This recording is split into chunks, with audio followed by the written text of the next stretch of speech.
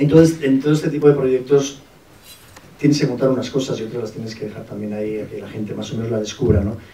De hecho, eh, armamos toda una especie de, de, trama, de engaño, para que la gente se enterara de lo que estamos haciendo. Muchas veces tenemos mucho problema para, para dar a conocer los proyectos que hacemos. Entonces lo que queríamos era que la gente pensara incluso que el grupo había existido. Y entonces, pues, Arrate, la chica que aparece aquí, pues eso, ella incluso ya había grabado el mensaje este de San Francisco ya antes de que ni siquiera conociéramos a ningún músico, ¿no? porque eso nos había parecido una, una idea muy interesante. Conocemos mucho el documental musical, nos fascina, creemos que es precisamente el antigénero, incluso ¿no? en este, el, el DocsDF, lanzar un, un, falso documental que no sé, no es el primero ni será el último, hay un montón, es una especie de, de sabotear incluso la realidad. ¿no? Yo lo que solía decir es que muchas veces se exacraliza el, el documental como si fuera algo ya objetivo, por el simple hecho de decir que estamos trabajando la realidad y no la ficción.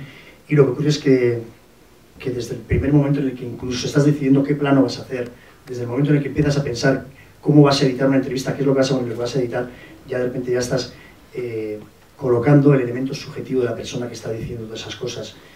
Es decir, eh, prácticamente pues... Eh, no sé si al final el falso documental es el, realmente el documental que se toma como, como, cierto, el que nosotros decimos realmente no, nos hemos inventado un montón de cosas. Entonces, el proceso de, selección, de trabajo, pues era, con, sobre todo con arte, yo he estado varios años fuera, entonces estaba un poco separado de la escena, ¿no? Y, toda la época que estuve trabajando con el sello discográfico San José, que yo me encargaba también de, de, editar grupos, de hacer incluso producción artística, con un montón de bandas, ya no solamente País Vasco, ¿no? también produje una, un grupo de chicas precisamente de Suiza que se llamaban Women, pues la verdad es que era siempre muy apasionante, ¿no? A mí siempre me aportaba mucho, vengo de la pedagogía y, y, y no se trata de enseñar, ¿no? Si de, sino de, de, aprender también de, lo, de la gente con la que estás compartiendo lo que tú conoces, lo que sabes. Entonces, poco a poco ir descubriendo estos grupos así de que, que ya existían en País Vasco, yo no conocía y tal, pues fue la verdad es que muy, muy, muy, muy motivador y era un poco Arate era la, la persona que, que trabajaba así, que iba cazando un poco ahí a los grupos y, y presentándomelos. Entonces, este trabajo lo hicimos sobre todo en estas, estas tres personas, y de Rodríguez, Arata, lo y yo. Y entonces, pues, la idea de, de, construir todo esto, toda esta trama, pues, pues fue muy apasionante, porque precisamente fue un, un juego de complicidades, ¿no? Como comentaba antes, prácticamente toda la escena, toda la gente que aparece en los conciertos, todo el mundo sabía lo que estábamos haciendo, ¿no? Y se guardó de alguna manera todo lo que estábamos haciendo para soltar, pues contar un poco la verdad en, el Festival de Cine de San Sebastián. Entonces ahí dijimos, no, no, no, es que esto nos lo hemos inventado, simplemente, o sea, piensen ustedes que a veces, muchas veces cuando, cuando le están contando algo, tampoco es real igual. Y entonces, pues, eh, la idea de, de Malcolm McLaren o Andy Warhol, cosas así, la verdad es que como, para empezar el cine, si hay algo, si hay alguna disciplina del arte que es colectiva, eso es el cine, ¿no? En la que participa un montón de gente, en la que se toman en, en consideración siempre todas las opiniones, Aquí estuvimos reescribiendo continuamente todo lo que se decía según las aportaciones de cada uno. La verdad es que, que al final pues es un, es un, documental que tiene mucha verdad y, y, muchas veces ni siquiera nosotros mismos ya decíamos, ¿no? quizás está siendo más, más, más fuerte igual lo que está ocurriendo en la realidad que en, que en la ficción. ¿no? Entonces, pues muchas cosas que no se puede contar. ¿no? Aparece de una, de una manera casi tangencial, incluso el abandono de, de una de las chicas, de, la primera chica, la primera cantante quizás de, la banda, contando pues cómo precisamente ¿no?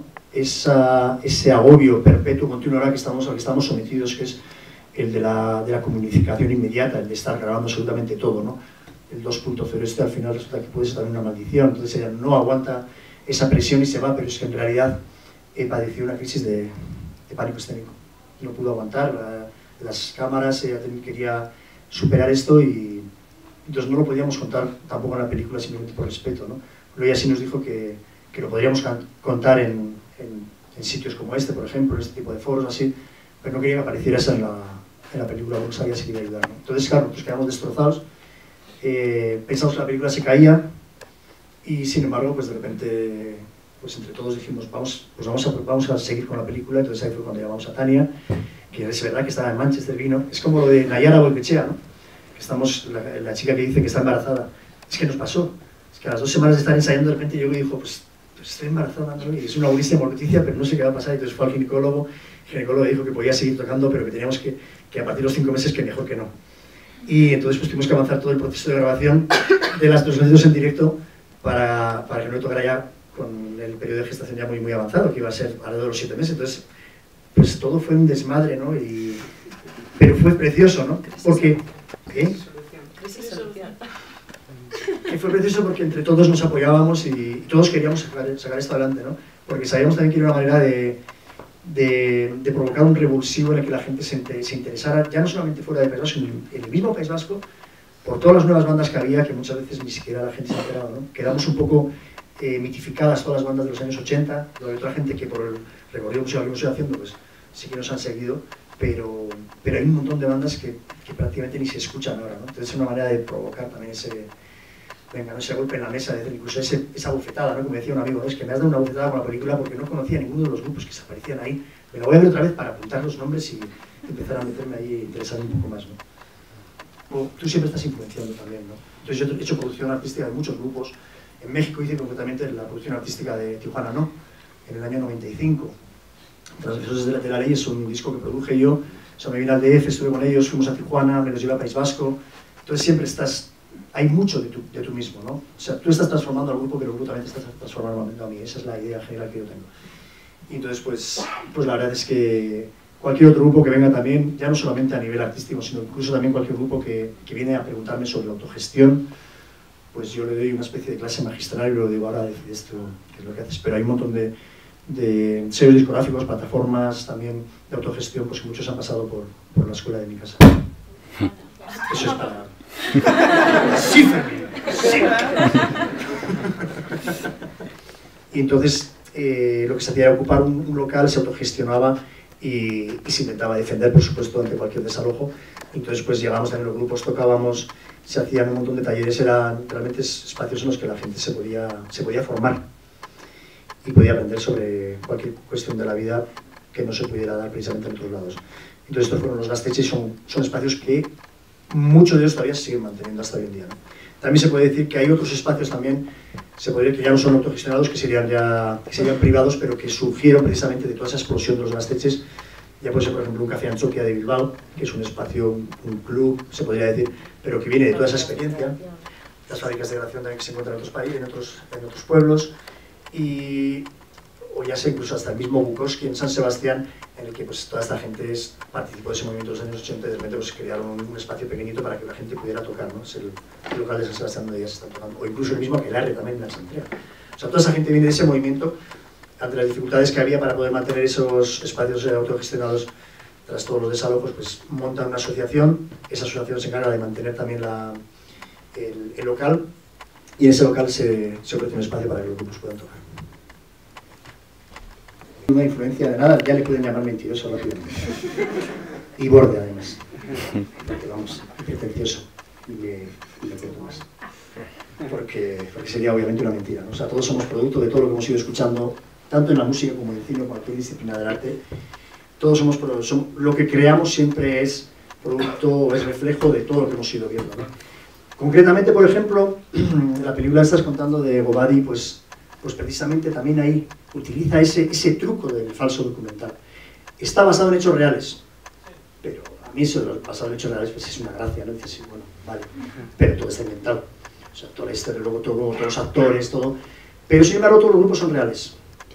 Entonces es una manera, para los que no la conocen, es una, una manera de acercarse precisamente a toda, la, a toda la escena musical de Teherán, en Irán. Entonces, pues, lo que construyes alrededor de, o sea, para mostrar toda la música esa, ya sea, eh, sobre todo música joven, ¿no? pero sea música pop, sea música rap, sea música popular mezclada con, con, distintas tendencias más actuales, lo que hace es inventar, pues como dos chicos quieren conseguir una visa, incluso luego el grupo también para tocar fuera, entonces hay una trama alrededor que hace mucho más llevadero también, ¿no? Es una manera de, de, de mostrar el documental de una manera yo creo que más interesante incluso, ¿no? A veces se suele decir, no, es que a mí no me gusta el documental porque la gente lo une pues, con esos, esos documentales que no sé si echan aquí también a las tardes de, de, de naturaleza, ¿no? Que salen pues, de repente pues, las tortugas. Los, se le llama la, la doca hamburguesa. Doca hamburguesa. Ya, entonces, bueno, pues la verdad es que que la idea del documental está, está evolucionando también de una manera tan rápida y tan interesante, además que está contaminando también precisamente lo que son las películas de ficción. De ficción. No sé si llegaron a ver ustedes una película que fue District 9, que era sobre, sobre, sobre Sudáfrica, como llevaban los alienígenas. Entonces, pues incluso por los mismos negros decían, es que si por lo menos fueran, si fueran, eh, si fueran blancos, es que son de, otro, son de otro planeta, ¿no? Entonces es una manera también de, de repente de provocar una discusión alrededor de lo que es el racismo. Muy, muy interesante, una película de ficción, pero que estaba rodada como si fuera un documental, ¿no? con, incluso con entrevistas a personas, ¿no? Pero pues yo desde que les vi que llegar, pues, ya no me cayeron bien, ¿no? A mí me cayeron bien unos, pero yo nunca he sido racista, pero... Entonces, era como muy estereotipado todo y era una película magnífica. Y con el tema de este documental, por ejemplo, él utiliza ese truco, pero, pero yo tengo otros documentales quizás más, más cercanos a este, ¿no? O sea, hay uno que, que, a muchos, les, que muchos que lo, han, que lo habrán visto aquí además, a muchos les ha recordado este documental también pues, a un documental que utiliza precisamente todas las trampas de falso documental eh, que es el documental de Banksy, por supuesto, ¿no? Exit the Gift Shot, pues, pues es un documental también copia de otro documental que hizo antes Orson Welles, que era F for Fake, incluso utilizando el mismo francés y todo, ¿no? Eh, falsificador. Y entonces pues este documental tiene algo parecido, tiene mucho parecido yo creo también, ¿no? O sea, es una persona que va grabando cosas y de repente está todo el material y luego cómo lo monta, bueno. Pero, pero en este caso concreto hay, hay otro, otro documental que yo siempre lo menciono, que es el documental de, de Basilio, Emilio Basilio Patino, que es un documentalista español, que hizo un, un, documental que se llamaba El grito del sur, Casas Viejas. Y es, trata de una masacre de la Guardia Civil, se ocupa el pueblo ¿no? y los campesinos lo ocupan, lo intentan autogestionar y la Guardia Civil provoca una masacre, entonces nunca, hay, nunca hubo nada de archivo de este, de este acontecimiento y sin embargo se inventa todo, ¿no? se inventa incluso imágenes de archivo de un documentalista inglés con la colaboración de unos internacionalistas soviéticos escondieron las latas de repente en, en, una pared, una falsa pared, las descubren, de repente sale hablando el director de la filmoteca eh, rusa, diciendo la dificultad que había tenido en recuperar esas cintas, y, y esto me impactó muchísimo cuando lo vi. Y incluso pues, salen imágenes, por supuesto ficcionadas, ¿no? pero las, las vean como si fuera esta un documental de, de, la masacre que hubo allá. Entonces esta, esta película es una de las, de grandes influencias. Pero puedo decir un montón más. ¿eh? Cuando le conté, por ejemplo, a Tania, todo este proyecto, ella enseguida me dijo, ah, o sea que esto es... Venga, cuéntales. Puedes acabar también, pues nada. No, a mí cuando me informó por primera vez, de hecho yo no iba a colaborar todavía como cantante de la película, no iba a hacer una, una pequeña colaboración pequeña ¿no? en, en, en, uno de los conciertos, están hablando de qué me había parecido la película, o sea, la, perdona, el concierto. Y cuando me contó la historia, lo primero que dije, this is Spinal Tap. O sea, enseguida lo, lo relacioné porque trata de eso al final, ¿no? La vida de un grupo y, y, todo lo que, lo que va surgiendo alrededor, o sea, todo lo que va pasando, cómo, cómo va evolucionando el grupo, todos los malos rollos, tensiones, los conciertos y, bueno, es lo, lo primero que me vino a la cabeza, ¿no? Pues un documental, una película documental bastante conocida. Y eso. Claro, que de hecho además luego encima luego te y, luego, y eso, que el grupo luego de verdad empieza a tocar y pues en el, en el caso de Spinal Tap también editaron un disco, pues igual que hemos hecho nosotras. Pues esa es un poco la similitud que, que he visto entre las dos películas. Sí, no sé. Yo mencionaría una última incluso, que no me influenció ¿no? realmente, pero que sí tiene algunos puntos en común, que es el documental de Metallica. No sé si alguien lo vio. Creo que, que nos engaña muchísimo ese documental, lo, lo, lo presentan como documental y está todo falseadísimo, vamos pero sí que trata precisamente de esa tensión que hay a la hora de grabar todas las cosas. ¿no? Y que enseñan lo que quieren, por supuesto, y, incluso las discusiones que tienen, entre ellos están preparadísimas. ¿no? Pero sí que hay también elementos de... En ese documental también se muestran muchas cosas que son reales. ¿no? O sea, a los músicos nos molesta muchísimo que al acabar un concierto enseguida ya te venga gente a, hacerse, a hacerte fotos, o incluso ahora la, la dificultad que tenemos el problema, ¿no? Que de repente cualquier persona te hace cualquier foto, o sea, ya no puedes hacer el imbécil igual en un momento de, euforia o lo que sea, porque alguno te saca una foto y te la está subiendo de repente a, al Facebook o por ahí y apareces como un sopladaitas, ¿no? Cuando en realidad no lo eres, ¿no? Simplemente estás en un momento de euforia y... pero ya te lo han sacado ya te han Pues sí, ¿no? pero no, lo, no quieres que lo reflejen. que también puede efectivamente, ser. efectivamente. Bueno, quiere decir que hay un, un gran problema, ¿no? También que se plantea aquí, la, la intimidad hasta qué momento podemos controlar nuestra intimidad y obviamente eh, sales hacia ese exhibicionismo que, que, hoy mismo se presenta en las redes sociales. Claro, desplazarse de un sitio a otro solamente ya pues te cuesta un, montón y en este momento precisamente en, el País Vasco desde que nos arrastraron por la globalización, pues estamos también en esa plena crisis y, bajaron todos los sueldos y subieron, sin embargo, todo lo que era coste de vida. ¿no? Entonces, la manera de arrancar con este documental fue con el, con el crowdfunding, o la financiación colectiva, como llamamos nosotros, que no es algo nuevo tampoco, ¿no? es algo que nosotros en País Vasco llevamos haciendo también un montón de, tiempo, yo creo que toda la gente que viene de los movimientos políticos lo conoce, lo que sería también la caja de resistencia famosa, ¿no? que la gente iba poniendo dinero para cuando se necesitara incluso comprar, para hacer una pancarta, para, para comprarse unos bocadillos, porque ibas a hacer una, una noche en vela o lo que sea, pues, pues se necesitaba. En este caso, concretamente, pues lo que hacíamos nosotros era más que un crowdfunding, incluso era, estábamos a, proponiendo una venta anticipada, precisamente una compra anticipada lo que iba a ser eh, una camiseta, un, un CD y luego el DVD, la, la edición del DVD del año que viene. Y, y, esto nos sirvió, de alguna manera financió quizás el 20% de lo que sea la película, para poder arrancar, para poder sacar pues todo lo que era, sobre todo el, el grueso del, del rodaje, ¿no? Y después, pues una vez ya pudimos tener un estreno en, en, cines, y justo cuando nos seleccionaron para el Festival de Cine de San Sebastián, pues vino también la televisión vasca, que se interesaba a nosotros, a pesar de todas las burradas que soltamos sobre la televisión vasca, pues, pues es una manera también de, para nosotros es muy importante, ¿no? porque quizás es meternos en algo que no les interesa demasiado, pero durante cuatro años pues, hubo un partido político ilegalizado en País Vasco, un partido político que ahora mismo ha tenido el 30% de la, de la representación del País Vasco, ahora cuando ha podido presentarse legalmente, y en esa época no se pudo presentar porque fue prohibido, y entonces pues una especie de, de gobierno vasco golpista, le llamamos nosotros, ¿no? por dos partidos antagónicos, pero que se unieron precisamente para poder gobernar en País Vasco, para, que, para poder hacer una política precisamente pues, anti, anticultural. O... Entonces, pues nosotros sacábamos mucho a la colación todo el tema de la televisión vasca y tal, y de repente cuando nos eligieron para el Festival de Cine de San Sebastián, pues enseguida vinieron diciendo que ellos querían comprar los derechos de antena, que es poderla emitir en, en, la televisión vasca. Y, entonces pues fue una fuente de ingresos también, pero luego sobre todo lo hemos tenido a través de, los pases en el cine. Se estrenó en cines y estuvimos dos semanas en cine, que es una especie de proeza para una película de este calibre, ¿no? Imagínate, pues se estaba proyectando esta película justo pues con, con la última película de James Bond, se estrenó, la última. Encima luego veías los carteles y veías al, al lado de las películas que había, ¿no? De, de producciones, eh, producciones, o sea, fuertes, o sea, internacionales y dices que, ¿no? O sea, que sobreviva entre todo esto, o sea, es, es, es un mérito, o sea... Nos colamos.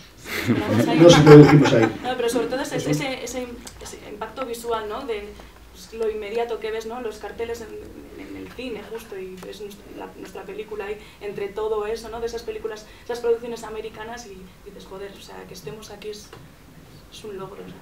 Sí, la verdad que fue increíble. Entonces, a partir de ahí también tuvimos sesiones y luego se están haciendo muchos pases también en estos sitios de medios colectivos, se organizan. Entonces, allá, por ejemplo, se, pues la semana pasada ese proyecto de Loñatis se hacen pases a 5 euros la entrada, que es un precio muy popular porque las entradas del, del cine cuestan 8. Y entonces, pues, pues se va recolectando también y se van, y se va financiando la película.